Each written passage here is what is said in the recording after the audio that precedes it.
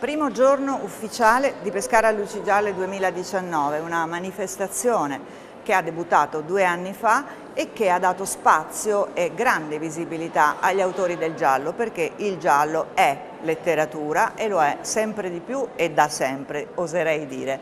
Ma eh, l'inaugurazione, come già nel 2017, quest'anno eh, si svolge all'Università d'Annunzio che è parte integrante e fondamentale di tutta la manifestazione che durerà fino al 5 maggio.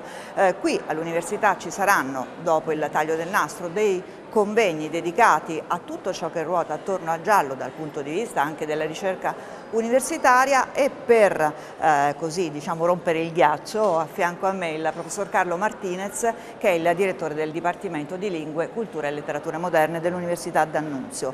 Eh, a seguire il convegno diceva ma intanto perché l'università aderisce a questa manifestazione? Il Dipartimento di Lingue, Letterature e Culture Moderne è molto contento di ospitare eh, il convegno che si apre oggi e si inserisce all'interno di una manifestazione più ampia, Pescara a luci gialle. Il convegno di oggi e domani è incentrato sulla letteratura gialla contemporanea, sul successo eh, che questo genere eh, continua a incontrare nella letteratura di oggi.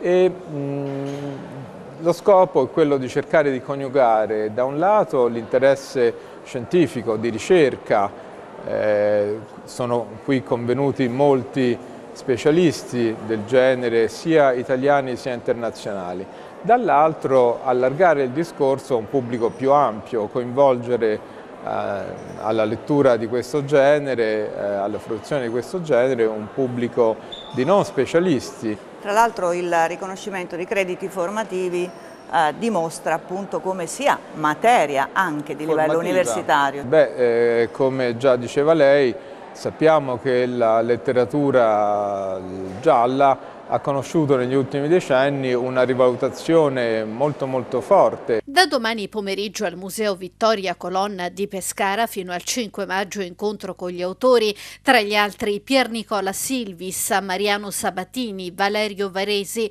Roberto Costantini, Anna Lindberg, Biagio Proietti.